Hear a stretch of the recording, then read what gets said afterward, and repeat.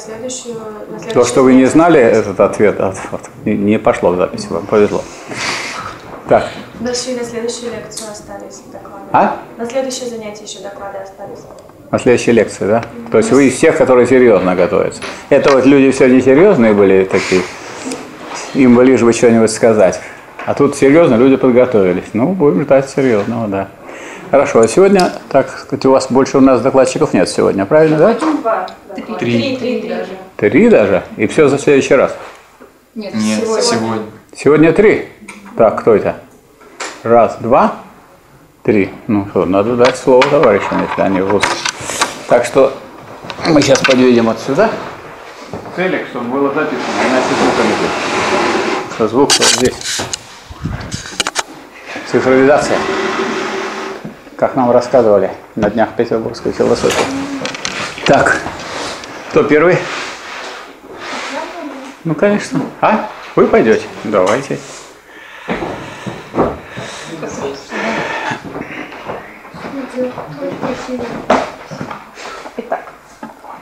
я рассматривала коллективный договор ЗАО «Первый контейнерный терминал» на 2008-2011 год. Вы рассматривали и изучали?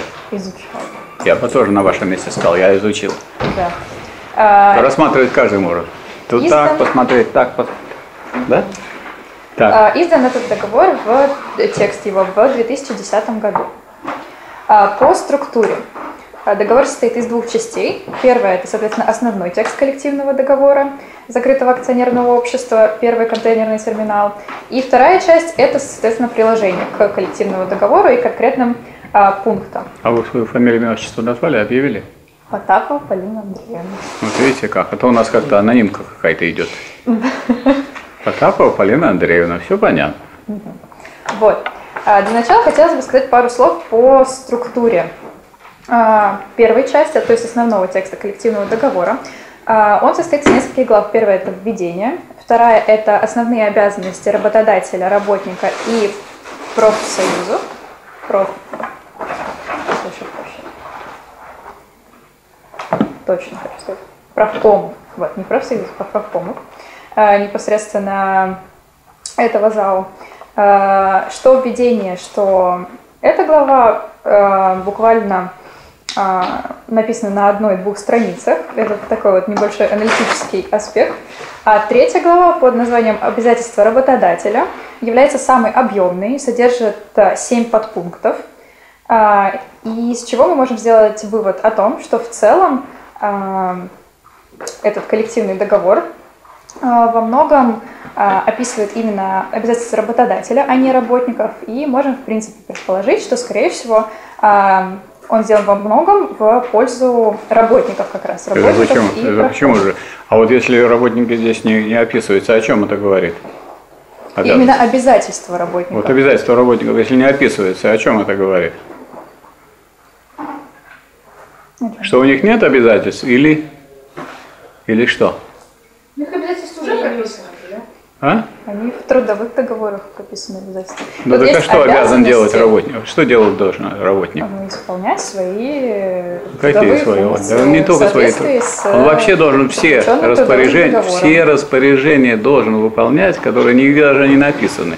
Все распоряжения руководства. У него есть, а, бригадир, надо выполнять, начальник участка, надо выполнять, начальник цеха, надо выполнять. Так, главный инженер, надо выполнять, начальник производства, надо выполнять, генеральный директор, надо выполнять. То есть вот это за работниками конечное число обязанностей, а у работников какое? Конечное или бесконечное? Бесконечно. Ну вот, это будет тогда правильно. А так как вы это поставили, я сказать, вот тут, видите, как много про вас написано.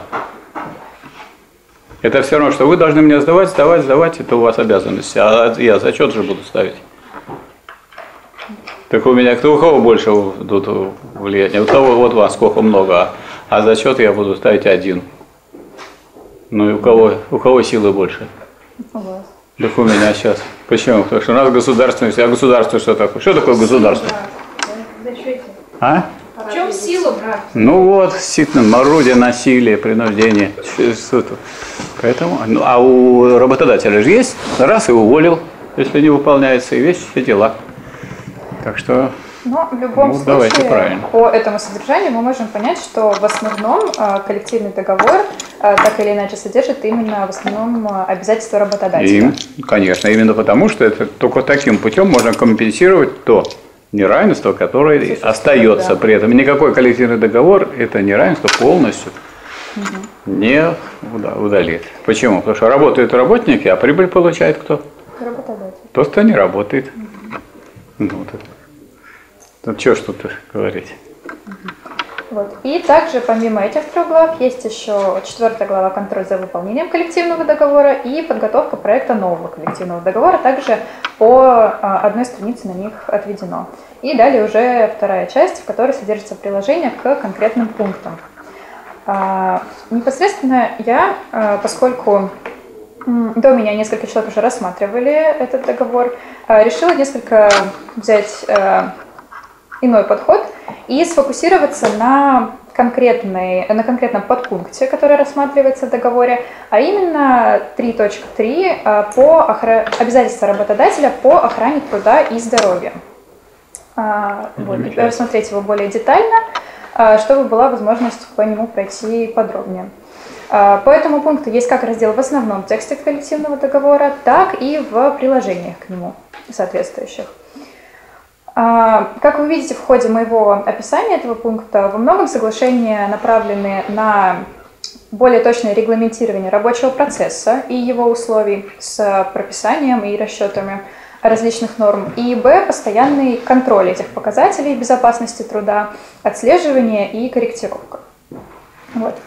А, Он содержится на страницах а, 13-20 основного текста.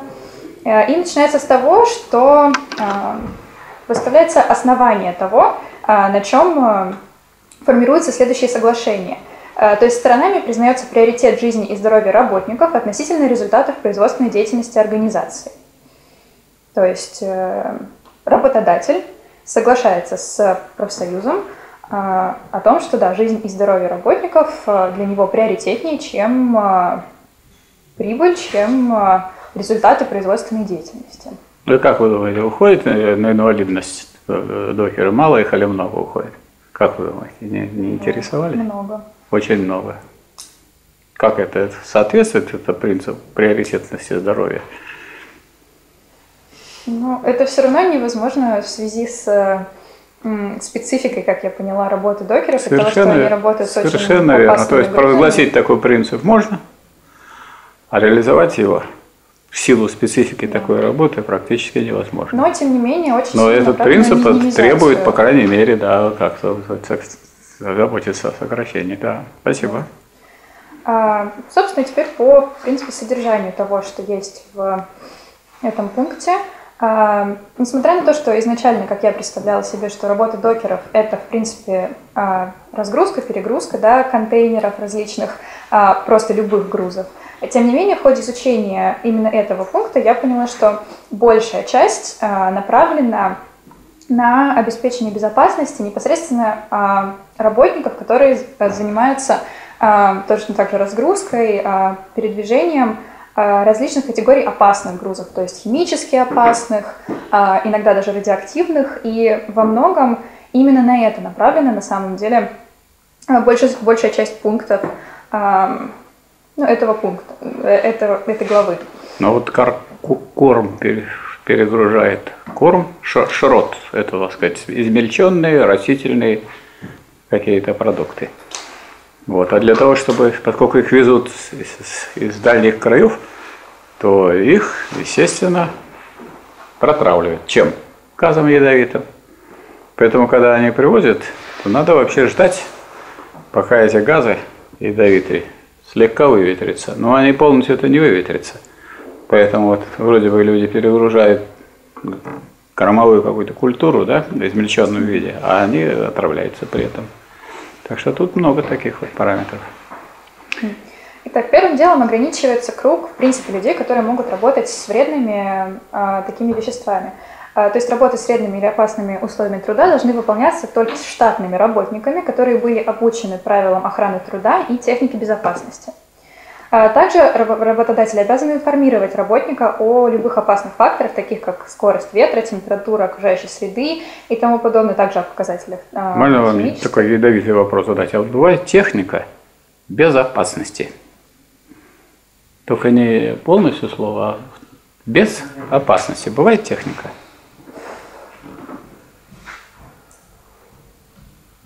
Да, пылесос. Ну, Пылесос? Можно тоже Можно да, да, засосать да, палец. волосы. Ну, Волосы запросто можно, да. Больно будет. Но там не такая, конечно, таких маленькой такой техники там нету там в порту. Стоп, техника техника или техника как методика? Нет, техника без опасности, как техника. Бывает? То есть, вот так называемая техника безопасности, как предмет, как требования, они исключают опасность, исходящая из техники, или, или уменьшают? Уменьшает. Уменьшает, но исключает полностью? Нет, конечно. Ну вот я вам приведу пример. Вот э, огромный перегружатель, трехэтажный, который перегружает эти самые большие большие короба, эти, которые перегружают докеры. Он вдруг поехал, сбил ограждение зимой, упал на лед и утонул вместе с докером. Вот и все.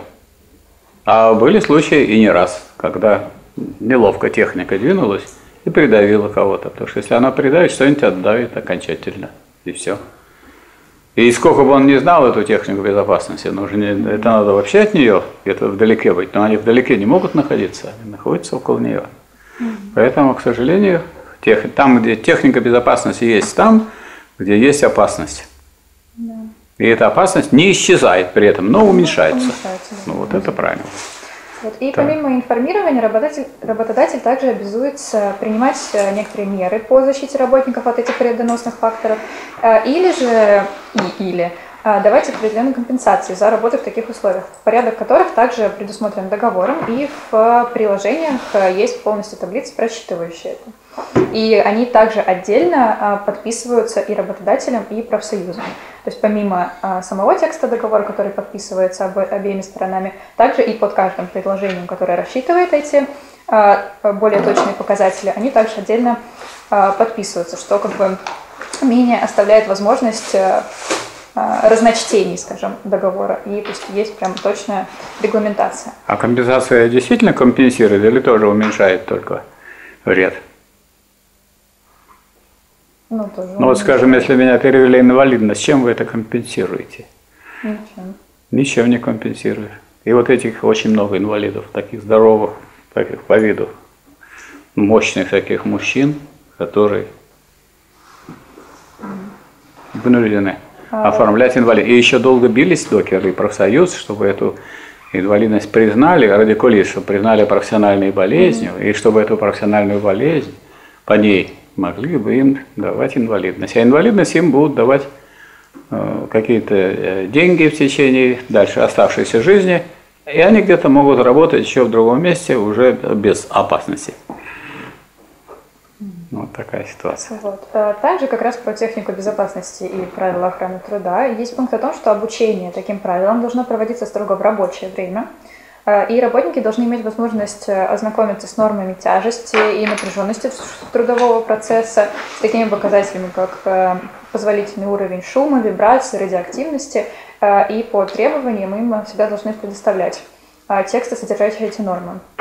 А, Также работодатель обеспечит постоянный контроль за вредоносными факторами путем а, проведения периодических замеров, но помимо периодических также по а, запросам работников, а точнее, ну, как бы бригадиров, я не знаю точно структуры а, организации, но тем не менее также а, должны дополнительно проводиться такие замеры. А, Также работодатель обязуется обеспечить финансирование мероприятий по улучшению условий труда, а, но не просто какое-то абстрактное количество, да, и обязуется эт- этому, но даже прописан конкретный процент, не менее а, 0,2% от общих затрат на производство. То есть звучит как достаточно небольшое число, конечно, э, 0,2%, но тем не менее, если представить а, общие затраты а, компании на производство, в принципе, это может подняться до достаточно а, серьезных сумм. Также, естественно, периодически необходимо проводить проверки и аттестацию перегрузочной техники, с которой работают э, работники. В частности, вот есть, например, пункт еще по вот таблицам и конкретике, что обязуется соблюдать верхний предел физической нагрузки на одного докера-механизатора в 7,5-часовую смену, а, перекладывающего груз вручную на расстояние до 1 метра величиной не более 24 тонн. При Всего увеличении, всего лишь. а, при увеличении расстояния переноса груза а, нагрузку уменьшить согласно приложению 4, где как раз указаны таблицы допустимых соотношений э, и положение также подписано сторонами дополнительно. Что если ты переносишь не на метр, а больше, там э, выписано то, то, какой становится верхний предел груза. Вот. А также не... Как вы думаете, этот вот предел обеспечивает здоровье или нет? Ну, 24 тонны, если за 7,5 часов, наверное, не очень, но хотя бы не совсем. Хотя бы как-то это ограничено. Ну, это гарантированно это, сказать, человека приводит к инвалидности. Значит, товарищ правком заказал отдельно, в отличие от не через э, администрацию, а сам заказал на профсоюзные деньги, заказал вот, обследование. Медики пришли, и сделали полное обследование и установили, что больше, чем 12 тонн, 12 тонн нельзя перегружать в смену вот по этим условиям. И это приводит, большая величина приводит к необратимым последствиям. Почему в таком случае они не стали бороться за... А вот, боро... А вот боролись. И вот после этого было на переговор требование было 12 тонн выдвинуто, обоснованное и так далее, как верхняя граница. Вот. А товарищ, который был в комиссии, докер, так сказать, беседовали, беседовали, и он согласился с администрацией. 24. А в это время он, если он находится в официальной комиссии, согласился, ну, так и записали. И, по- и поехал 24 вместо 12. Он уже умер, этот докер. А дело его живет. А, Также к погрузочным работам а, не привлекаются женщины, если они требуют приложения усилий а, более 7 килограммов. А, Также есть такой пункт, что при выборе организации для заключения договора по МС и ДМС, а, обязательное медицинское страхование, дополнительное медицинское страхование, а, учитывать мнение правкомов. Вот здесь пункт как раз мне не очень понравилось, как был прописан, потому что если сравнить с предыдущими, где очень подробно да, есть а, учет мнения расписан в Трудовом кодексе. Вы, вы понимаете, в чем состоит учет мнения? Вот если я учитываю ваше мнение, что значит? Вот я как раз этого и не понимаю, что это значит, А? и как эта процедура должна выглядеть. По крайней мере, вот Нет, в не как, как она вот в кодексе прописана, как эта процедура учета мнения, как она не должна, а как она, это же учет мнения, это официальное такое название, которое присутствует в Трудовом кодексе. В чем состоит эта процедура? Вот я генеральный директор, что я должен сделать, если я что-то хочу издать приказ? Ну, получить согласование с правкомом. Нет, сначала я должен э, проект сделать этого приказа. Дальше. Дальше я, а вы будете председатель правкома. Я присылаю вам проект. И я должен, согласно закону, написать обоснование. Ну, у меня есть кому писать. Вы напишите мне обоснование? У меня много есть кому поручить, да? Он написал обоснование, я вам прислал. Вы читаете и видите, что это ужас. Куда говорит, что вы делаете? Пишу тоже обоснование, почему я считаю, Нет, что это обоснования ужас. от вас нет. Это еще не прочитали про это, что такое учет мнений в кодексе. Не надо вас, не надо, просто мотивировочно, это, мотивировку, почему вы против. Ну что-то вы мне скажите, хоть что-нибудь. Вы сказали. После этого что надо делать? После этого я должен с вами встретиться. Обязательно. Мы должны встретиться. Я вам предложу кофе, чай, и, и мы с вами поговорим. Поговорили? После этого я могу вводить в действие свой проект приказа, и все. То есть учет мнения это означает, я слышал, слышал ваше мнение. Больше ничего. То есть это означает задержка несколько дней введения приказа в действие. А вот я вам э, говорил о согласовании, и мы об этом согласовании говорили. Если согласование, то я вам направляю на согласование, а вы председатель правкома. Вы берете ручку, говорит, не согласовываю, и подпись. И все. На этом остановилось все. А учет мнения, некоторые, ой, это я ваше мнение учту. У вас какое мнение насчет зачета? Было бы неплохо получить автомат. Ваше мнение будет учтено. Вам учет мнения нужен или зачет? Следовательно, по конкретно вот этому пункту Да. ну, большого влияния не будет. Также э, не производить обработку грузов, э, для которых не была проведена токсикологическая, медико-биологическая и санитарно-гигиеническая проверка относительно вреда для здоровья, соответствующая а, международным стандартам. А, а, Тут есть такая вот э, терминология уже более рабочая, есть два пункта о том, что не производить перевалку опасных грузов с нарушенной упаковкой, но при этом какие-то некоторые другие манипуляции с этими грузами с нарушенной упаковкой производить можно, но в обязательно в спецодежде защитной а, и так далее. То есть тут именно а, момент характера а, да, перемещения их. Но Вот. перевалка означает, что у вас было на корабле, а теперь будет этот поезд загружен в вагон. Или был в вагоне, а с вагона хоть будет загру- загружен на контейнеровоз. Это перевалка груза. А так сказать, вот снять и поставить, это пожалуйста. Вот, э, также Нет, это не перевалка груза, это вы его просто сказать, поставили на хранение, и все. До выяснения. А переваливать его нельзя и отправлять нельзя, раз нарушена упаковка. Может быть, там эта упаковка обеспечивает безопасность. Откуда вы знаете? Это неизвестно. Вот. Но при этом снимать как бы можно. То есть в этом плане э, работник не защищен, потому что... э, Почему не защищен? Снимает на ней руками, это дв- 20 тонн контейнер. Никак уж вы так не снимете его. Это снимает, снимает техника, вы, Ну, а вы подъезжаете к этому самому контейнеру, сказать, под- подцепляете его и ставите его в другое место, и все. Он стоит там. А, Есть также пункт про работу с э, радиоактивными веществами. А, Ее необходимо проводить в соответствии с приложением 5, то есть тут сразу переносится в отдельное соглашение. Оно звучит как о гарантиях работникам закрытого акционерного общества, работающим в зоне размещения грузов, содержащих радиоактивные вещества в дальнейшем РВ. А, Какова процедура? Назначается обязательно лицо, ответственное за переработку грузов РВ.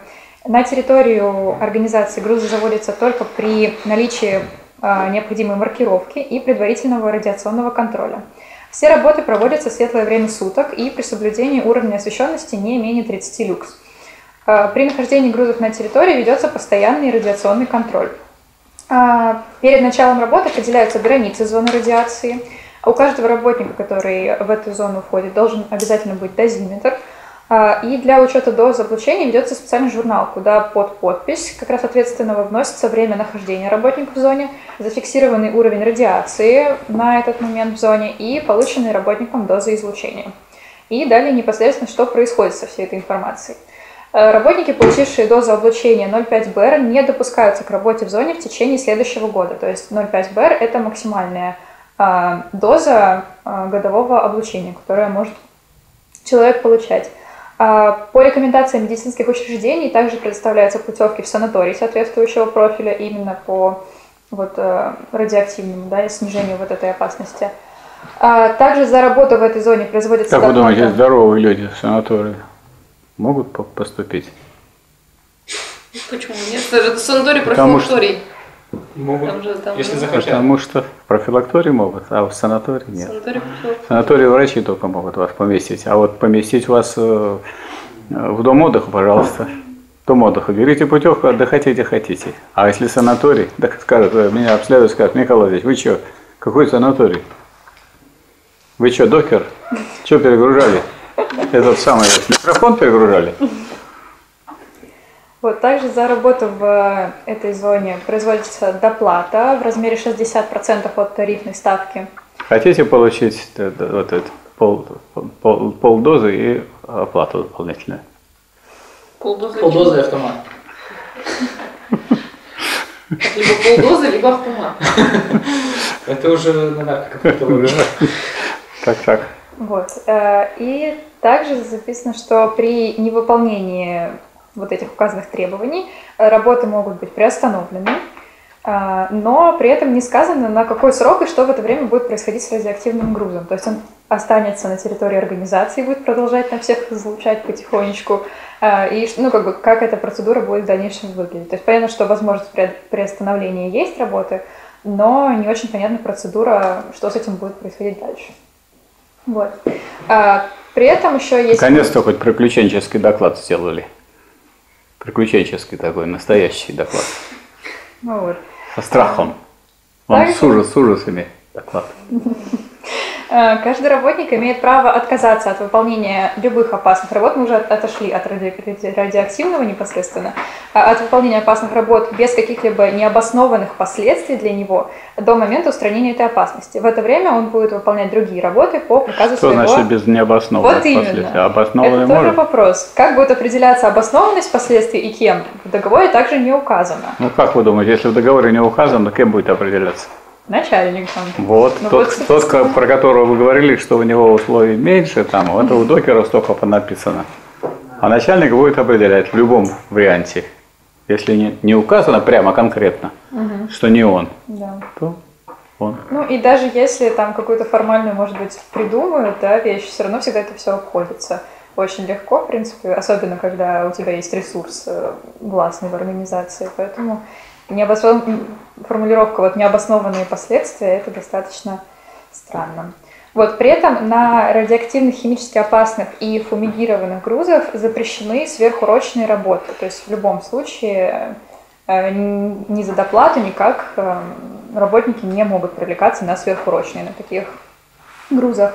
А Также запрещено использовать труд Фумигировано это обработано ядами, Да. ядовитыми веществами.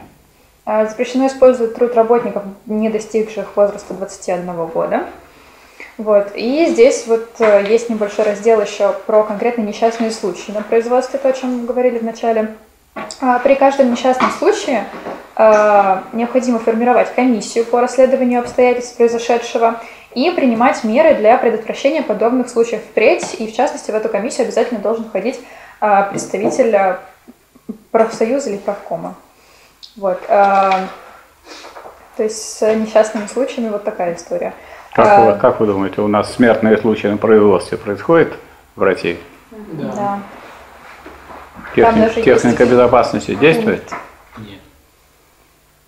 Ну, не идеально, но частично. Ну, то есть она, вот так надо и понимать, техника безопасности может только уменьшать количество таких случаев. Оно, так сказать, не может их ликвидировать.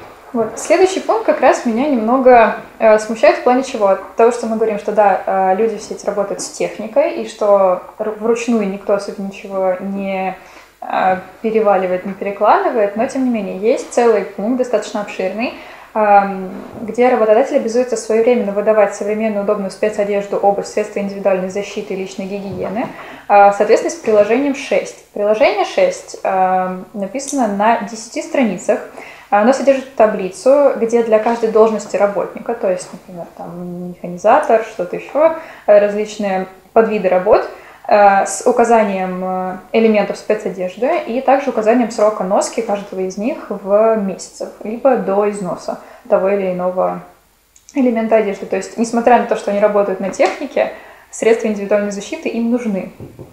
То есть вот э, именно этот момент тоже не совсем понятен. Вот. Ну, также по... Они на этой технике работают, вот когда идет дождь, снег, град это время. А на технике в это время очень даже не здорово работать. Зимой. Вот. а Круглосуточно не работает один день в году, Новый год. 31 числа. Вот. а Также работодатель обязуется обеспечить душевых подачу холодной и горячей воды в соответствии с санитарными нормами, то есть качество воды.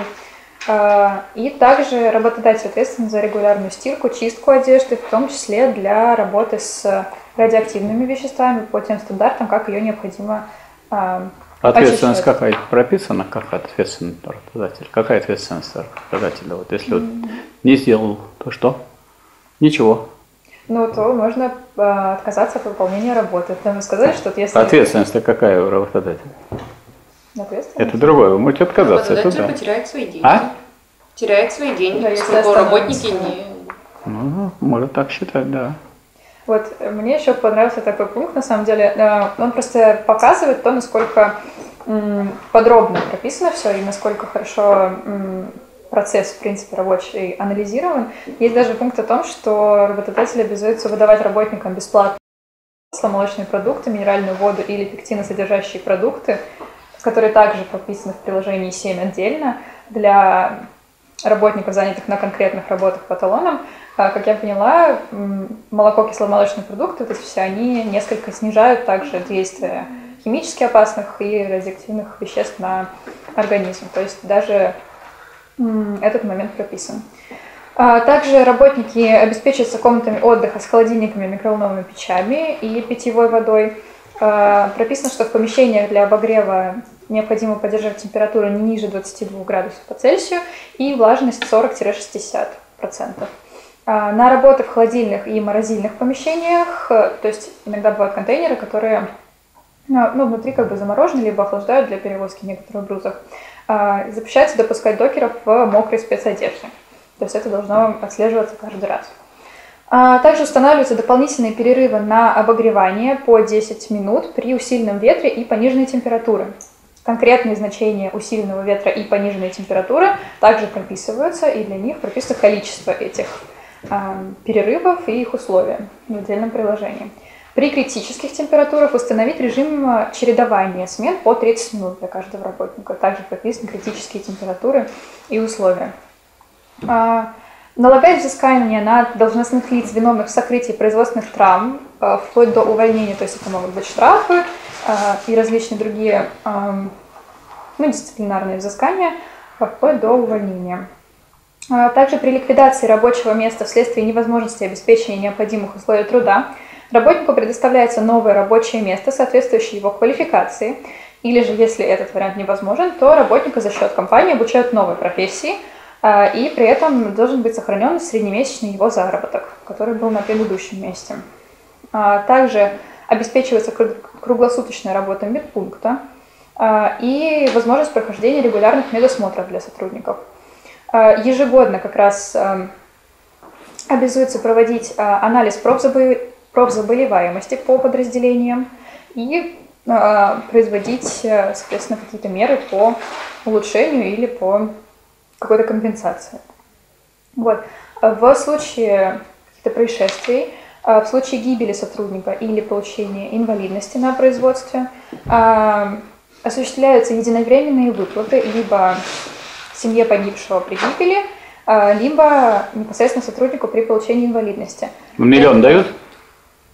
Это зависит от того, какие оклады. Тут какая... Нет, вот если я летел из Египта и упал, самолет разбился, мне дают, на семье дают миллион. А здесь почему-то Ну, эти здесь, оклады а, погибшему- непонятно, непонятно. Дадут 16 минимальных окладов, которые действуют 16 на... минимальных, там, Да. минимальный оклад, ну, скажем, сколько, 16 тысяч, да?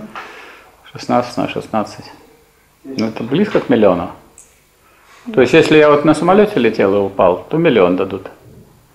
Шахтерам дают, если вот семье шахтера дают, миллион, если он. Сколько дают? Как вы думаете? Тысяч пятьдесят. И все. Это вот мы можем наблюдать на поверхности, как получается. То есть то, что, так сказать, где-то вот на, глазах у прессы, это тут, так сказать, тут другие суммы. На этом экономия большая, потому что этих раз учтешь, что их много. А, При этом при получении инвалидности а, выплачивается несколько по другой схеме. Здесь уже не минимальные оклады, действующие в организации, а непосредственно оклад, который получает работник на момент получения травмы. А, Итак, при присвоении первой группы инвалидности также 16 окладов, второй группы 12 и третьей 6. А вы отличаете зарплату и оклад? Да, оклад это то, что непосредственно ежемесячная выплата. Не, а зарплата не- может состоять из кучи Вот, разных вот у меня сейчас должность не, не профессор, а профессор-консультант. Вот когда у меня была должность профессора, у меня оклад был 28 тысяч, а зарплата общая вместе с, с окладом и все остальное 55 тысяч. Разница большая. А дают вот оклад. Все пишут оклад, оклад, оклад. Так оклад это вот третья часть. Да. А что у нас, вот скажем, у профессоров? Доклад 28 тысяч. Так, теперь дальше. ОЦО. Знаете, что такое? Не знаете. Особо ценный объект университет. Это, вот других этого нет. Ну, в МГУ это есть. Нету. А вот все это пола- половина этого. Значит, половина окладов. 14 тысяч добавляется. Так, теперь дальше. Звание е- должен, э, так, степень есть в? Доктор наук. Тысяча рублей. Все от доктора наук. 500 рублей. Так, так. Должность профессор. Тысяча рублей. Все. 500 рублей. А еще звание же есть профессор. Звание профессор. Тысяча рублей. Все. 500 рублей. Итого 55 тысяч. Ну, 55 600. А оклад, если вы спросите, какой у вас оклад? 28. Видите разницу? Но- Поэтому это вот когда говорят, что человек получал большую зарплату, попал, и тогда ему начинает окладами платить. А вовсе не так сказать, той суммой, которую он располагал. Ну, Это да, но тем не менее это получается больше, чем все равно то, что семье погибшего выплачивают. То есть здесь именно вот в этом Конечно, разница. конечно. Вот. А, Но при этом есть еще одно условие, что если эта травма или гибель происходит в результате опьянения сотрудника или угона э, транспортного средства или же совершения хищения, э, то сотруднику эта компенсация не выплачивается, а семье выплачивается на 50% меньше. А, И также в- работодатель обязуется в первоочередном порядке принимать на работу инвалидов из-за трудовой травмы, которая получена непосредственно в производстве, и восстановивших трудоспособность при наличии вакансии и с соблюдением рекомендаций медиков. Вот. А, И также последним пунктом а, в четвертом квартале текущего года, то есть это, наверное, 2008 или 2010, а, обязуется рассмотреть вопрос о страховании жизни и здоровья работников. То есть на данный момент а, заключение этого непосредственного договора а, этот вопрос не рассмотрен еще. Вот. Ну, то есть, цел- на этом заканчивается пункт, который я рассматривала, и в целом, на мой взгляд, договор достаточно подробно и хорошо прописывает очень многие процедуры, а, и с а, большей части сторон а, хорошо обеспечивает права работников. Вот. Но, как мы видим, есть небольшие или большие изъяны, которые также необходимо рассматривать. Но хотелось бы также понять, как эти соглашения реализуются на практике, насколько часто происходит действительно, ну, действительно ли проводятся все необходимые, да, регламентом прописанные процедуры. А, Бывает ли такое, что действительно останавливают производственный процесс, если что-то не соблюдается, то есть насколько сильно притворяется в жизнь, потому что а, по вот этому договору звучит все достаточно неплохо, и как будто сотрудники очень хорошо защищены, но почему-то мне кажется, что в реальности не всегда.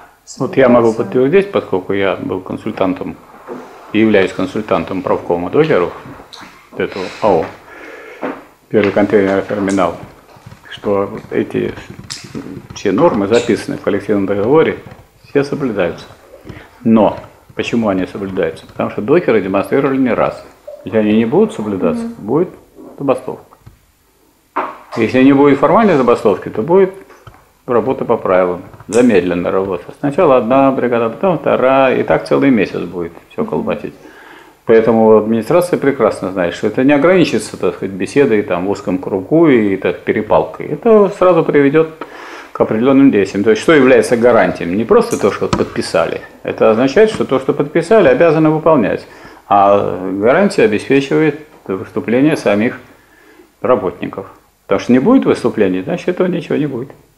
Поэтому на самом деле это все выполняется. Но при этом надо понимать, что ну вот если у вас жизнь застрахована, значит вы не умрете, что ли? Нет. Вот если моя жизнь застрахована, что это значит? Что я не умру? Нет, это значит, что если я умру, мои родственники получат деньги. Вот больше ничего это не означает. А я думал, вот сначала застрахована жизнь. Вот вы не застрахованы, а я застрахован. Я не умру, а вы умрете. Нет. Я точно так же умру. Умрем мы в любом случае все. Вот беда. Ну и помимо всего А прочего... так будете еще, мало того, что умрете, всю жизнь будете сдавать страховые взносы в страховую компанию. Страховая компания, ваша жизнь застрахована. Умрет из вас один, а платить будут все. А, Из нас вот я умру, а платить вы будете все. Вы рады этому? Что вы не умерли? Ну, радуетесь заодно. А страховая компания радуется, что она от вас денежки получила. Хорошо же? Не за страх, а за совесть.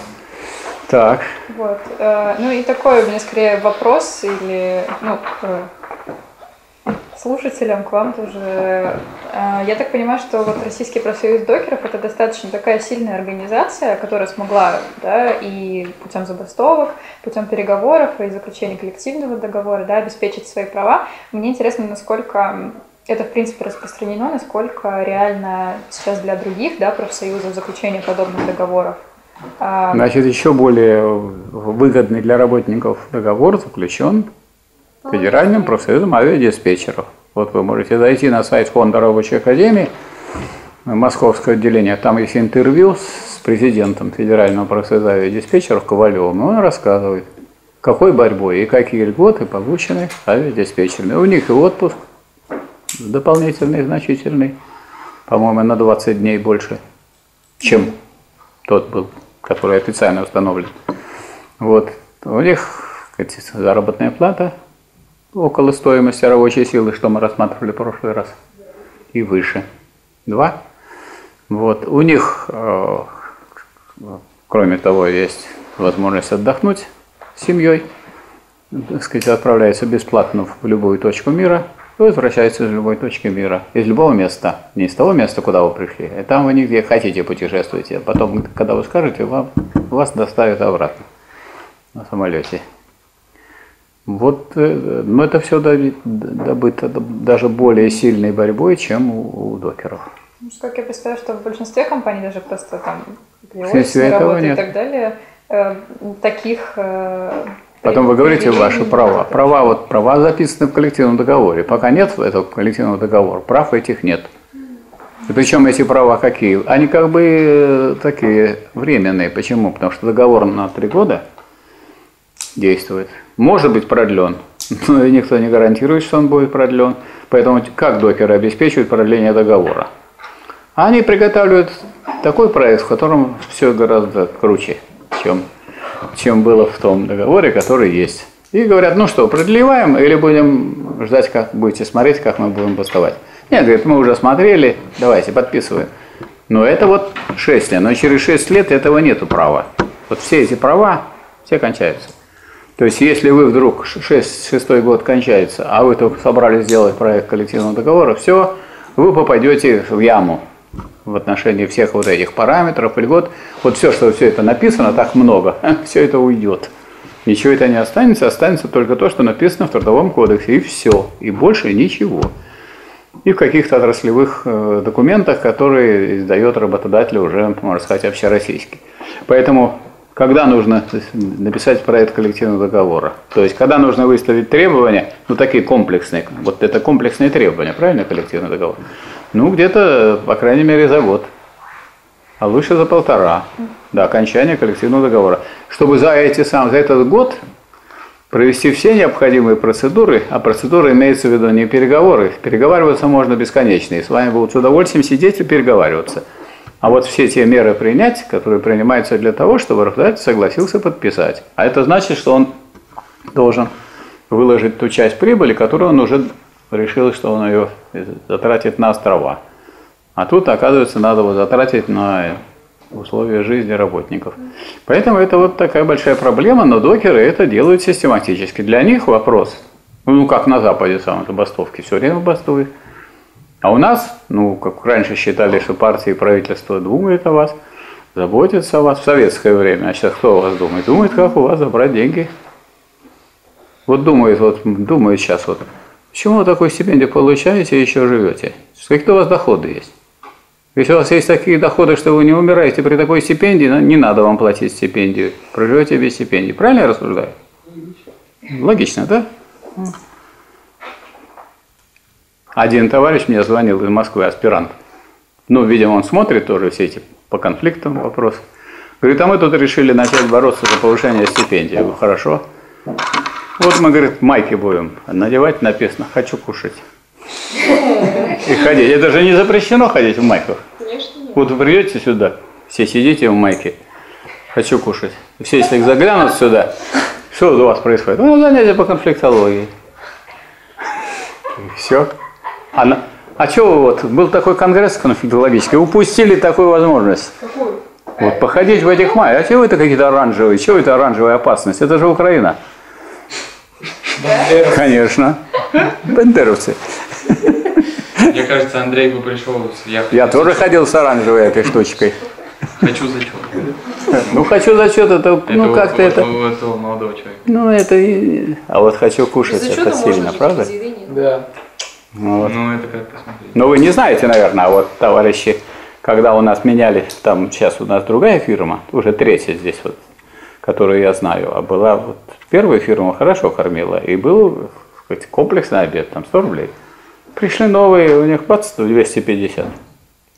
Ну и наши проглотили экономисты, поскольку они экономисты, да, и философы, философские посмотрели на это дело. А филологи подняли бучу, написали письмо ректору, подписали все и сделали уже всем в университете комплексный обед за 100 рублей. Это в каком? А это было вот уже, наверное, лет 8 назад. А постепенно река времени это смыло снова. Потому что так же, как и коллективный договор, за 6 лет смывает. Так и здесь. То есть, если вы хотите поддерживать. Ну, а студенты же одни приходят, другие уходят. Тут вот такой передачи не происходит. Здесь такой. И прочной профсоюзной организации тоже обычно не бывает. Потому что, ну, вот сегодня он есть, а завтра он, ну, все, его нет. Пришли новые люди. Новые люди пришли, и вроде как этой проблемы не существует. А проблемы есть на самом деле. Это же ненормально. Нет, ну приятно, что студенты все стройные, конечно, это очень хорошо. Но э, тут надо тоже подумать об опасности для здоровья, правда? Так, еще у вас что в У программе? меня все. Все. Ну, по-моему, это замечательный доклад. Вот я честно признаюсь вам, что я сегодня планировал, что если у нас не будет доклада, я собирался рассматривать тему условия труда. Так что вы вот прямо попали вот в точку. Потому что зарплата зарплаты, но за что мы такую зарплату получаем? Не как узнать, это большая зарплата или маленькая? Если это вот тут и радиоактивные грузы, и фумигированные, то есть протравленные ядовитыми газами, так, и тут запыленность и загазованность, и тут могут быть травмы, и тут в холод и в мороз. Причем мало что в мороз. Летом они работают в морозильной камере. Ну, потому что там эти грузы пищевые, которые заморожены, перегружаются. Вы, значит, как бы на Северном полюсе работаете, хотя и в порту. Ну, можете считать, что в Антарктиде, как пингвины. Вот какая штука. Поэтому куда ж туда соваться в мокром, если ты в мокром туда соваете? И докеры хорошо знают, что если вы в хлопчатобумажном пойдете в брезент, все, вы заболеете точно. А если вы шерстяную одежду вот одели и намокнет, ну, вы еще переживете. Так что это вот такая очень реальная проблема. И наоборот, некоторые докеры, вот я вот летом иду по э, порту вместе с председателем главкома, товарищем Саржином. Один выходит, такие красные у него, красное лицо, красные глаза, спустился со своего этого перегружателя, докер. Ну, говорит, жара, мне говорит, 40 градусов у меня в кабине. Я говорю, а вы тут делаете перерыв? Нет. А что, говорю, не делаете? У вас написано в коллективном договоре. Ну, кто будет делать? Ну, вы не будете делать? Ну, не делайте. Вам написано. А вы почему не делаете? Почитайте коллективный договор сами. Дело он делали для рабочих, делали для товарищей докеров, а он, значит, он, видите ли, не знает, и он не использует. Он там умирает. А зачем умираешь? Подойди, выйди оттуда, и 15 минут в соответствии с тем, что написано. Перерыв. Каждый час там 10-15, в зависимости от температуры. Перерыв. То же самое, если они, скажем, температура низкая, они поднимаются, работают, потом раз на обогрев. Каждый, каждый час столько-то минут обогрев. А если вы замерзнете один раз, ну и все это кончится просто болезнью и, и обморожением.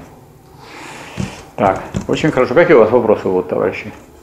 У нас э, был бы вопрос, но у нас просто еще один доклад, и хотелось бы, чтобы второй докладчик тоже был. Ну, Понятно, у вас конкуренция, понял? Ну, не, я ничего не могу сделать. Спасибо большое, Павел. Очень хорошо. Докладчику можно было бы не давать, а докладчице уже нельзя. нельзя. Итак, меня зовут Захарова Анастасия Антоновна. и Я изучала коллективный договор акционерного общества «Первый контейнерный терминал» на 2017-2020 год. Э, Когда я изучала этот договор, я руководствовалась тем, что я его прочитаю полностью и заострю внимание на тех моментах, которые каким-либо образом ну, которые привлекли, привлекли мое внимание, и, соответственно, эти моменты делились на положительные, нейтральные, какие-то негативные. Вот учитесь выступать, вот так надо выступать. Меня тоже так учили, говорит, Михаил Васильевич, вы говорите неубедительно, надо говорить убедительно. Ба, бо, бу, б, би, бы. Это убедительно. Вот очень вы убедительно говорите, потому что некоторые, даже если они не поймут сути доказательств, все равно почувствуют, что это фундаментальный доклад обоснованный. Чувствуете, да? Продолжайте. И таким образом, когда я прочитала коллективный договор, у меня сложилось двойственное впечатление по поводу него. А, то, что сам коллективный договор существует, это я отнесла к тому, что это хорошо. То, что люди, в принципе, готовы переговариваться, а, в принципе, готовы идти переговор, на переговоры и решать Почему какие-то... идти на переговоры? Уже закончены переговоры давно. Ну, в смысле, что они и пошли на переговоры, значит, они в будущем, наверное, у них есть потенциал к Да, последующим переговоры переговорам. ходят где угодно, а вот зак- заключают договора только в некоторых немногих предприятиях. Ну, вот у них это получилось, это меня порадовало. Так это получилось от того, что они умеют говорить, или получилось потому, что они умеют действовать? И то, и другое. Да если, бы они, не если бы они не умели говорить, они бы не могли выразить.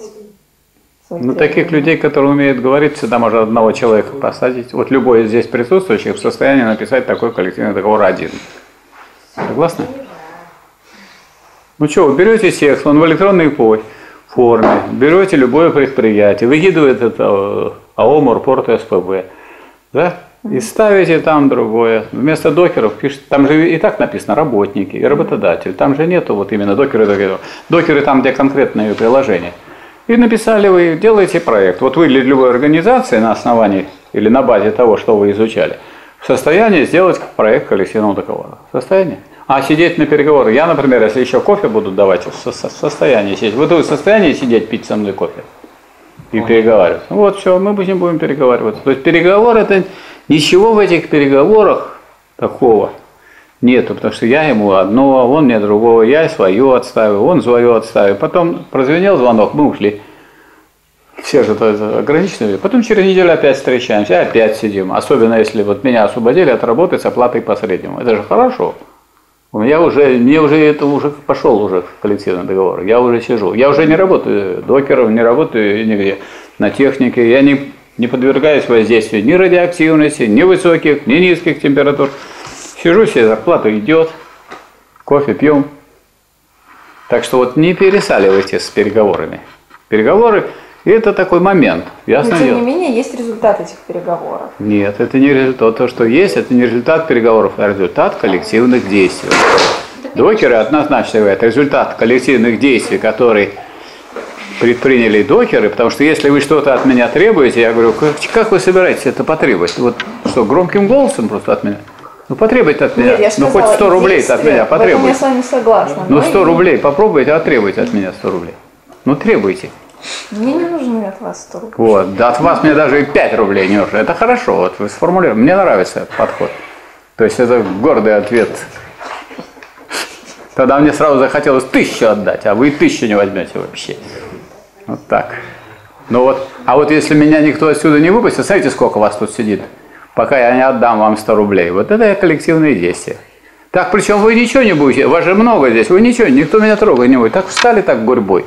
И никто не уходит, а мне нельзя трогать студента, мне запрещено. Это я вам зачет могу не поставить. А когда это будет этот зачет? Вы, может, меня и не выпустите, пока не будет зачет. Поэтому вот коллективные действия, вот что важно. А они были. Это как бы за рамками. В самом коллективном договоре это не написано. Просто надо понимать, что хороший коллективный, ну вот хороший коллективный договор, мы с вами заключаем договор, я работодатель. Вы хотите, чтобы я из прибыли с такую сумму вам отдал? Вот так вот просто, просто потому что вы на меня посмотрели и хорошие слова сказали. Ну, наивный человек. А вы говорите, ну, Михаил Васильевич, тогда вот мы сейчас все встаем, и так, я говорю, идите на работу. Ой, нога, рука болит, то все, пятое, десятое, зарплаты нет. И все, и что я делать буду? И что, я руководитель, пока все работают. А если никто не работает, какой я руководитель? Кто руководит предприятием и решает вопрос, работать, не работать во время забастовки? Работники. Да, забастовочный, не просто работник, а забастовочный комитет. И он меняет эту форму забастовки, может, каждые три дня. Вот три дня прошло, он, он за три дня уведомил. Так, мы два часа не работали в сутки в смену, теперь будем четыре не работать. И это просто вы информируете меня, и больше ничего. Я ничего не могу сделать. Потом говорит, ладно, вы пошли нам навстречу, один день будем не работать. Одну, один, один час будем не работать. Как бы вы меня поощрили. И кто? А вот, скажем, пришел корабль. И оттуда бегут ко мне, если я генеральный директор. Вот, разгрузите нас. Я говорю, вы знаете, у нас забастовка. И что? Я говорю, вот а идите к ним, они решат. Если решат разгрузить, то разгрузят. А если не решат во время забастовки, кто решает-то? Вот в чем дело. Вот это надо понять, потому что не, не пересаливайте вопрос с переговорами. Потому что у нас вот разговаривать, вот мы, вот наш брат-интеллигент, он что делает? Он постоянно разговаривает. Вот скажем, моя работа в чем состоит? Постоянных бесконечных разговоров. Если у них еще бы содержание было, так это не было бы ценой этим разговорам. Но и даже это не надо пересаливать. Но все-таки действий тут нет. А вот воздействовать на работодателя разговорами несерьезно. А у него есть, он сидит, смотрите, главный экономист, он целыми днями там сидит, он что, думаете, не поговорит? Поговорит. Есть директор по режиму, есть главный, есть юрист, который тоже дипломированный, тоже может говорить. И он еще может нагнать целую толпу начальников, которые будут с вами разговаривать. И это будет уважительно, только вы ничего не добьетесь. То есть весь смысл, так сказать, вот, борьбы за коллективный договор в совершении коллектива, которые могут быть разные. Формальная забастовка, неформальная, работа по правилам. По правилам это что значит? Вы обязаны, что где написано, что вы должны делать тут доклад? Нигде. Нигде не написано. Скажете, Евгений Михайлович, не буду я делать доклад, вы ушли. И что я сделаю? А ничего. Ничего не сделаю. Работа по правилам. Вы пришли и сидите. Что, обязаны выступать? Где такое написано? Тоже не написано. А в учебной программе не написано? Нет. Нигде не написано. Это вы мне одолжение делаете. Так, из уважения просто. То есть надо, вот это вот тоже интересно, надо анализировать, что можно. А мы можем с вами всю жизнь встречаться, вот как встретимся. Мы же потом лет через 5, через 10 встретимся, помните мы с вами, вот вы делали доклад, а я вам мешал.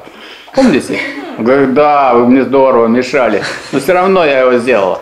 Вот у нас будет приятно вспомнить. То есть не будем это вот, переоценивать. Значит, э, до, до, добыт этот коллективный договор коллективными действиями. Так. Они за рамками, их не видно. Это да. Да, но вопрос, э, я согласна с Полиной, которая она поднимала, что правда ли все пункты выполняются. То есть хорошо, что договор составили, но смутные ощущения у меня по поводу того, что прям все пункты... Докладываю, я присутствовал на таком мероприятии, как конференция трудового коллектива, который, на которую приглашен генеральный директор, и он отчитывается о выполнении коллективного договора. Вот я при этом присутствовал, я и вопросы задавал тоже. То есть вот такое мероприятие профсоюз придумал, хорошее, да? Приходит генеральный директор и рассказывает это. А вы спрашиваете, а почему вы этого не сделали? Ну и так намекает, что если это, он говорит, да это мы исправим, то все, а иначе он понимает. А что он понимает? Он понимает, что это, если он не пообещает это исправить в конкретные сроки, это грозит опять коллективными действиями. Действия очень простые. Скажем, вот, вот, скажем, большая бригада или большой там комплекс, там работает, может быть, 200 человек. Ну и по 50 это вот 4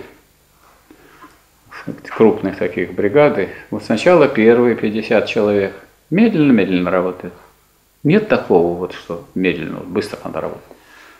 Ну, работают, сколько могут, устали, жизнь тяжелая, ну, медленно работают. Остальные работают нормально, но результата нету, потому что результат должен от сложения всех, всей четверки. Потом вторая должна, потом третья, потом четыре. И так месяц. Месяц это не, не работа. То есть нету результата производственного, и нету прибыли соответствующей. Ну, а потом вроде как вы заплатили, все поправили, да, все заработало, все хорошо. Нормально. Ну, скажем, на Красном Сорме у меня один товарищ говорил так, что если вы будете давать мне э, разбавленную зарплату, я буду давать вам разбавленную работу. Все понятно тут. Что тут? Ничего тут грубого нет, все совершенно понятно. Выигрывать главное оружие работника. А?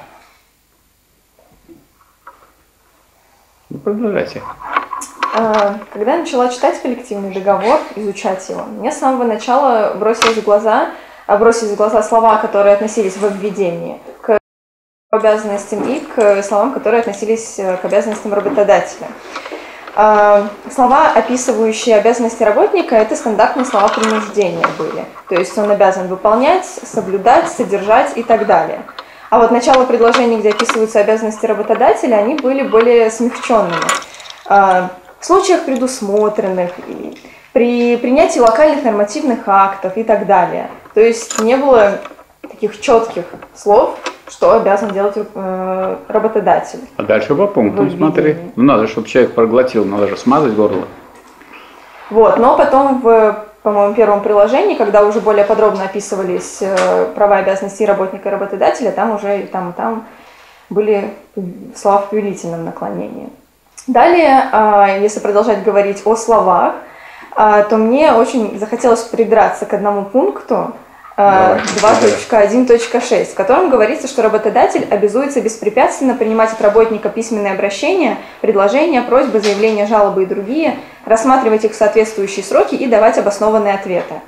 У меня сложилось впечатление от этого пункта, что работодатель обязан принять заявление, а, как-то его прочитать в своей голове, переработать и дать, ну, грубо говоря, формального ответа будет достаточно. То есть, если, Да. например, это жалоба от э, работника работодателю, то он может Да. искать ему какие-то формальные причины, но Да, сам то есть- то есть конфликт. Вот смотрите, а вот смотрите, а вы, наверное, не в курсе дела.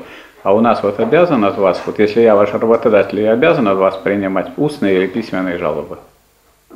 С вами разговаривать я обязан. Так, вы сейчас ко мне обращаетесь в какое время? В рабочее или свободное? рабочее. Рабочее? Идите и работайте. В рабочее время надо работать. Так, а в свободное я уже уйду. Потому что вы будете работать позже, чем я уйду. Вот и все. То есть, если вы гражданка вот сейчас России, вы можете написать президенту, и вам пришлют ответ. Ну, не сам Владимир Владимирович напишет. Может, вам-то и сам напишет, но обычно это, так сказать, попадает в соответствующий отдел по работе с гражданами. Они смотрят по такую тему. Если это по вузам, отправят в Министерство образования, науки и образования. Они э, и вам руководитель департамента ответит. И письмо будет вам в конверте написано президентское. И вот вы, и почта вас будет теперь уважать, потому что что-то вам приходят президентские письма, страшное дело. А вот если вы на работе, вам вообще никто не обязан, не только слушать вас никто не обязан. Это вот они записали то, что превращает и людей на работе так, в людей, которые как граждане и на работе могут что-то сказать начальник. И тот обязан выслушать хотя бы. И это- уже очень много. Он выслушать может. Да, и можно сказать, что вот если он выслушает, сказать, в противном случае у нас будет как-то тут все плохо с работой. То есть, мы- если он выслушает, уже будет хорошо. Так что это вот нельзя недооценить. Потому что на самом деле основная масса, основная, основная часть жизни проходит на работе, а на работе люди ничего никому сказать не могут. Им не обязаны не только отвечать, и слушать вас не обязаны. Вот в чем беда. А у меня есть секретарша. Зачем секретарша нужна? Вы придете, Михаил Васильевич занят. Михаил Васильевич говорит по телефону. Михаил Васильевич вызвали в главк и так далее. Михаил Васильевич работает с документами. Михаил Васильевич ушел домой, вернее, уехал на автомобиле. У вас есть автомобиль? Если у вас есть, а если нет, то садитесь на трамвай, то уже поезжайте домой. Всё. Так, пожалуйста, продолжайте. А, Следующий момент, который бросился в глаза, это то, что по коллективному договору складываются более близкие отношения между правкомом и работодателем, чем между правкомом и работником, то есть докерами.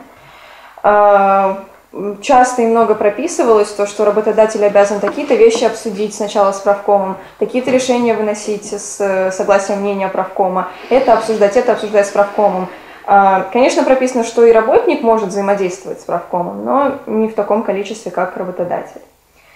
А, Еще бросились в глаза пункты, описание которых мне показалось смешным и грустным одновременно, э, даже, наверное, печальным, э, потому что я считаю, что такие пункты относятся к каким-то базовым вещам в плане здоровья, безопасности, прав рабочих. И грустно то, что их приходится прописывать, чтобы они выполнялись и как-то А не пропишете, не будет. ну, да, что в принципе, они не выполняются. Ну, вот я приведу пример. К таким вещам я отнесла отсутствие привлечения работника к материальной ответственности за ущерб, в нанесении которого он не, вино- не- не виноват. Потом своевременное обеспечение работника необходимой спецодежды. Именно слово «своевременное», то, что это приходится прописывать, грустно. А потом время на то, чтобы согреться при работе на морозе в минус 30 или наоборот в плюс 30, чтобы А вот охладиться. как вы думаете, работнику грустно от этого, что прописано? Он берет и говорит, вы нарушили вот такой-то пункт договора. Я останавливаю работу. Нет, ему не грустно, я имею в виду в общем и целом, что такие вещи... А в общем и целом Ну, именно да. профсоюзные, профсоюзные э, организации знают, что это сплошь и рядом нарушается, поэтому это надо прописать. Потому что вы знаете, что за треть работников не платят вот наши работодатели ничего государству. То есть ни пенсионный фонд, ни медицинского страхования, ничего. Их как бы нету. А раз их нету, у них вот наступит время пенсии, а у них какой стаж? А никакого. А раз никакого, да и как? Они на работу их никто не возьмет. В 65 лет, как сейчас пенсия, 65, никто не возьмет. И, э, и все, они, так сказать, умрут от голода. Вот и все дела. Не будет пенсии. А пенсия как получается? Только потому, что сказать, сдаются пенсионные взносы, и это все фиксируется в пенсионном фонде, и это так сказать, дает основание для выплаты пенсии. Так что это вот очень серьезное дело. Ну, я продолжу этот перечень. Наличие туалетной бумаги и мыла в уборных, отсутствие тяжелой погрузочной работы для беременных женщин, запрет на сверхурочные работы с радиоактивными, химическими, опасными грузами и так далее. Ну, как я уже сказала, это само собой разумеющееся, поэтому... А вы знаете, что вот какие были события, когда шахтеры выходили там и касками стучали у Белого дома? Наверное, это вы не видели, но слышали про это, да? А в чем у них проблема была? С чего начались эти забастовки? А потому что не было крепи, без которой обрушится кровля. Ну, их погубит всех. Так, не подвозили. Это что такие? Тут вот такие вот э, бревна, которые надо подставлять, чтобы вот это э, потолок не упал. И второе, это мыла не было. Не было мойщиков. Они, они же выходят черные, как негры. А И нету мыла даже, хозяйственно нет мыла. То есть это вызвало особое возмущение. Я был в Новокузнецке вместе еще с профессором Золотовым, встречался с ними, а к ним никто даже не подходил. И с ними разговаривал. Но нас предупредили, говорит, вы там не вздумайте подходить к микрофону, идите так потихонечку, аккуратно разговаривать. И мы с ним разговаривали 5 часов. И только через 5 часов у нас пошел такой хороший разговор, уже душевный. А так, э, так, э, то есть людей довели до белого коленя. Но если полтора года не платили зарплату, вы в курсе дела? В 90-х годах. Полтора года не платится зарплата. Ну вот, скажем, у нас есть Петровская коса, а на ней есть э, завод кораблестроительный «Алмаз». Вот не платят людям полтора года. Потом приходят люди с деньгами и говорят, слушай, зачем тебе эти вот? У тебя есть то, что вам выдавали? Приватизационные чеки есть? Есть. Давай чеки, тебе деньги живые дам. Хотите? А он ему кушать надо, дети не. Раз-раз собрали мешок этих чеков и купили, получили завод. А раз зарплату не платили, все отдавали эти чеки. Поэтому это было вроде всеобщее распределение, всем как бы дали часть обще- общественного достояния, быстренько оказались в руках немногих. Так что это очень такая штука сложная. То есть получается, что самые простые вещи не затратишь. Ну какие самые простые? Чтобы вам дышать можно было, и чтобы есть можно было. А если у вас это не обеспечено, то что за работа? Такая, и чтобы вы не умерли на работе, чтобы вы не заболели на работе. Это в первую очередь. Поэтому сегодня мы не случайно вот эти вопросы рассматриваем. Эта зарплата никому не будет нужна, если вы будете болеть. И не, если тем более будете умирать. Или если у вас так сказать, не будет ноги или руки. Ну, в чем беда. Далее отдельное место в коллективном договоре занимает время, то есть указание времени, потраченного на работу, на отдых, на промежуточный отдых, на переговоры, дачу ответа на заявление и так далее. Я прекрасно понимаю, что организация работы по времени это очень важно. Важно, чтобы никто не опаздывал на свою работу, чтобы сроки какие-то э, соблюдались. Но м, где-то в некоторых пунктах рассчитаны чуть ли не до секунд э, промежутки на отдых, А потому что если не рассчитано будет до секунд, не дадут. Не дадут, накажут вас. Вот скажут, ага, вы остановили, все, выговор. Лишение премии, а премия большая. Без премии зарплата маленькая. Ну, На например, каком основании вы остановили работу? Вот вы сейчас, вот сейчас я вас остановил, а ты вы-то на каком основании останавливаете свой доклад? И все, и вы ничего не скажете. А если у вас, как у нас написано в коллективном договоре, могу делать остановку по причине того, что мне задают вопрос. У вас написано это? Не написано. Все.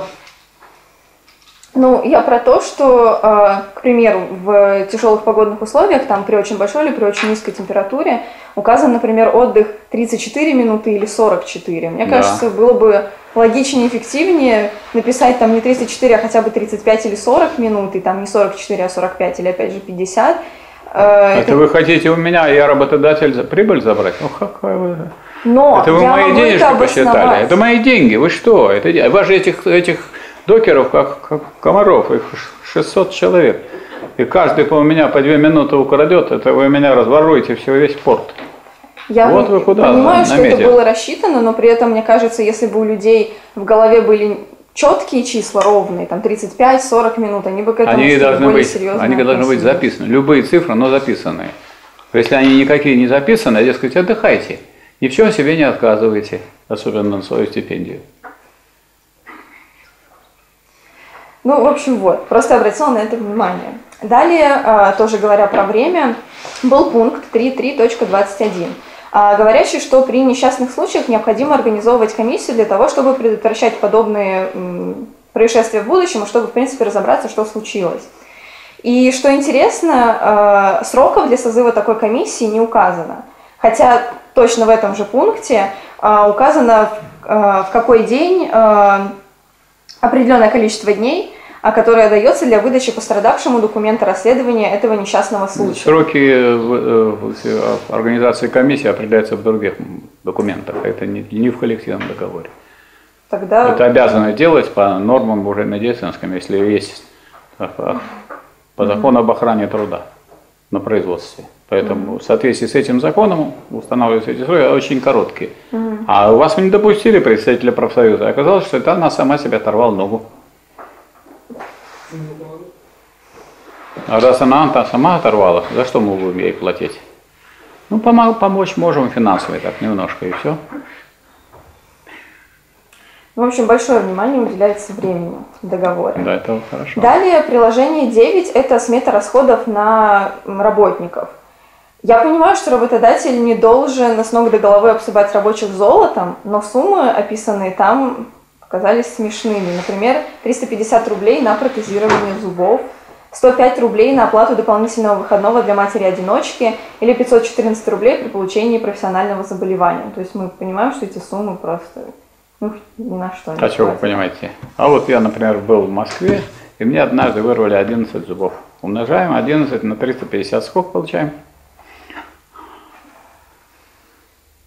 Как вы думаете, у людей начинают, так сказать, лететь зубы от, тоже от условий труда? Поэтому, если бы это один зуб у него, это бы ничего. А во-вторых, дескать, это у вас вот говорит, ну что вы там это, э, за какой-то зуб, там один 350 рублей, давайте не будем платить. А тот говорит, ну что мы мучаемся, давайте пи- 500. Вы на переговорах бы на какой стороне были? 500 платить, 1000 платить за зуб или нисколько не платить? Вы определите свою позицию. 500 тысяч. Вот, так 500 тысяч. Это правильно. Так, а это вы можете в проекте написать, а вы имеете дело с чем?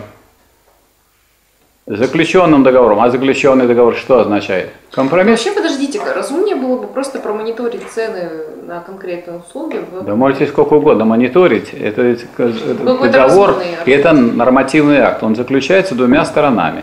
Вот мы, одна сторона говорит ноль вам давать, а другая сторона говорит тысячу. Вот мы с вами сидим, на 500. а из-за того, что вы нажали, пришлось написать 350. А так бы нисколько не было. Из-за того, что вы нажали, коллективные действия провели. Поэтому вот это надо понимать. Мы не текст рассматриваем. Текст это ерунда. Текст я могу написать любой проект. И вы можете написать, к вам запрещают писать проект коллективного договора, любого предприятия. Пожалуйста, напишите. Пусть они потом с этим проектом попытаются чего-нибудь добиться.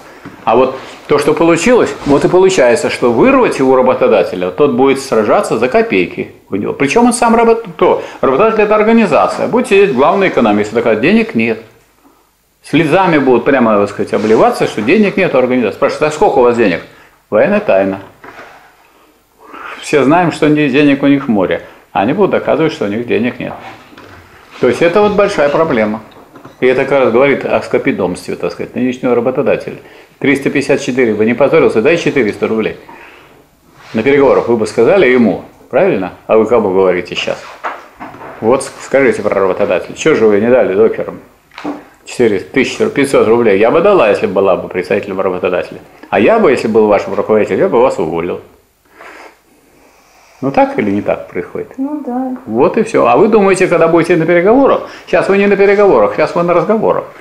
А когда будете на переговорах, вы думаете, я вас послал, а вы что там все насдавали этим самым троглодитом? Вы что вообще, я для чего вас нанимал? Кто такой юрист? Что такое юрист работодателя? Объясните мне. Защищает права руководителя. Вот. А что он защищает права? То есть он показывает, что все по закону. Что именно все вот правильно делает руководитель. Да я понимаю, ну просто грустно видеть такие суммы. Почему грустно? Вы хотите узнать на самом деле, какая жизнь? Да я... Это грустно вам, если вы узнаете правду жизни? Да. Вот сейчас никто вот сегодня грустит, сегодня уже выяснилось, что мы, оказывается, не вечны. Вот. Но никто особенно так не загрустил, особенно вы, по сравнению у нас, поскольку это большая разница в возрасте. Поэтому у вас эта перспектива, так Об этом сказать... говорили на первом курсе, что вы уже пожили, а мы Да. еще нет. То есть Да, я уже пожилой, я уже вы- пожил, а вы неизвестно, поживете, доживете или нет. Может, у вас будут какие-то грузы там непонятные, редактивные вещества, фумигирование. А? Война. Война, террор. Черт я знает что. И вы с голоду, главное, умрете. Вот что обидно. Это не так просто, как вам кажется, поверьте. Да, я чувствую. Вы, наверное, уже едите вер- вербу весной. Вербу весной едите, не, поэтому никак не можете умереть. Я не знаю, как прожить на, на такую стипендию. С родителей едет, трясете их. Ну откуда у вас? Ну как вы можете? Вот Объясните мне. Это, это научная же, это такая проблема научная. Как вот человек, это такой опыт, эксперимент проводится в России, как человек, получающий в месяц тысяча 480 заставляет рублей проживает, живет. Стимул Еще он того, что нужно жить, значит, ты идешь на работу и учишься. И ты, Вот, а, видите? да, Ну это вот вы напишите да, какой-нибудь, я, я вам опубликую вашу штуку хорошо, обязательно. договорились. Вот вы сразу на этом же канале вы вывесим сразу. Хотите интервью, дайте, как я прожил. Как я смог прожить при такой стипендии? Это же ужас. У нас-то была стипендия, вот я-то не могу пожаловаться, 60 рублей у меня было, а у директора Кировского завода 120 зарплата. И, конечно, я мог спокойно прожить так сказать, на эти деньги. и, сказать, сытый. Вот товарищ тоже у меня на одном курсе учился. Он то же самое. Мы на матмехе учились. Хорошо.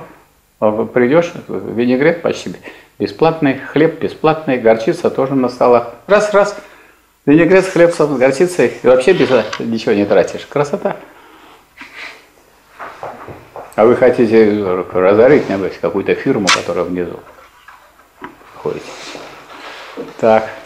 Ну и несколько запомнившихся хороших аспектов договора. А, Понравилось то, что рабочим, получившим профессиональные заболевания или профессиональные травмы или инвалидность, представляются рабочие места в той же организации, если есть эти места, с индивидуальной программой реабилитации. Не Я- расстраивайтесь, их, как правило, нет. Мест? Да, как правило, их нет. Ну какие удобства? Это перегру... перегружатели, перегрузка. Какие могут такие? На, на- и, и все интеллигентские доки... места заняты. Идут они в другом месте. Вот, например, докер Рысев. Такой, такой широкоплечий. Он перешел на инвалидность. Пошел э, инструктором в бассейн. Около порта, но уже не в этой организации. А так, где ты, э, как ты попадете? Ну, в этом месте нет, таких там работы-то нету. Там же написано, при наличии мест.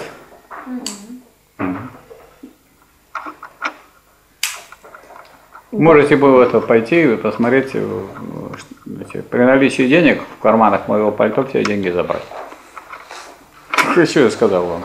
При наличии денег. А их нету там. ну, Нету. Но если найдется там 20 копеек, то есть это вот формулировки такие, надо вот вы тоже должны быть к этому подготовлены, что такие все красивые формулировки, они пустые. При наличии, при наличии средств у нашего государства у вас будет стипендия 10 тысяч в месяц. Что я вам сказал? Ничего. Нету сейчас средств, потому что все миллиардерам отдают, а не, а не студентам. Ну как экономика не развивается, а миллиардеры растут. как это может быть? Ну, значит, значит, отнимают у слабых. А кто слабый? Студенты, пенсионеры. У кого отнять еще? Уже мы профессора, значит, мы уже там начинаем. А студент будете выступать? Не зачет. Ну ладно, сомнительный хороший момент, но есть и другие хорошие моменты. Ну, понятно. Например, предоставление транспорта от метро, наличие Да. а, пригодных помещений, где Да. можно покушать, отдохнуть. Потом Да, мне очень понравился хороший, да. пункт, э, что в случае плохого самочувствия работнику, работника по его заявлению ему пред- могут предоставить три дня отдыха, я так понимаю, без Да. предоставления каких-то медицинских справок. Да. Сейчас даже в школах э, нужны обязательно справки. Знаете, секретный пункт какой? Какой? Ну вот там люди, докеры, э, сказать, очень преследуют тех, кто выпивает. Потому что там большие бригады, если какой-нибудь вот пришел на работу пьяный, он срывает всю работу. Поэтому они дают смело так сказать, добро, и профсоюз дает добро на увольнение. Все, тут- все тут не терпят этих пичук. Ну вот хороший докер, никогда не пил, и вдруг выпил. Так вот он в соответствии с этим пунктом, иди домой. Так? В следующий раз, вот сейчас это вот три дня твои кончатся, если еще раз появишься, ты уволен. Это ему говорят товарищи по работе, члены профсоюза, не вмешиваются в эту администрацию. А раньше это было э, такой же в законе здраво- о здравоохранении, что человек может без предоставления документов три дня, по- ну, когда с плохим самочувствием, ну, плохое самочувствие, он вот напился и не может пойти на работу. Плохо себя почувствовал. Так не надо три бутылки пить. Выпил бы вот столько, и может быть ничего. Он плохо себя почувствовал. Так что это такой вот секретный пункт вот, так сказать, с легендами. Понятно. И еще пункт про зарплату. 3, 5, 10. Э, Позитивным моментом этого пункта является то, что если день выдачи заработной платы совпадает с выходным, то зарплату выплачивают накануне. То есть работнику не нужно Ну, ждать это сейчас выходные. везде. Пенсии выплачивают Это вот нам вот точно платят строго сейчас, вот два раза в месяц вот в университете. Вот сегодня понедельник, то сегодня нам выплатили зарплату. Сегодня 25 число. А вот если бы нам должны были, вот попадало это дело на субботу или на воскресенье, то в пятницу. А пенсии так не платят, к сожалению. А потому что пенсия, да пенсия-то у слабых. Они же пенсионеры, ты чего будут? Только пока они дойдут. А наш брат начнет кричать, как не выплатили зарплату? Ну это же не, особенно интеллигенция, это же публика. Михаил Васильевич, ну пенсии же тоже разные бывают.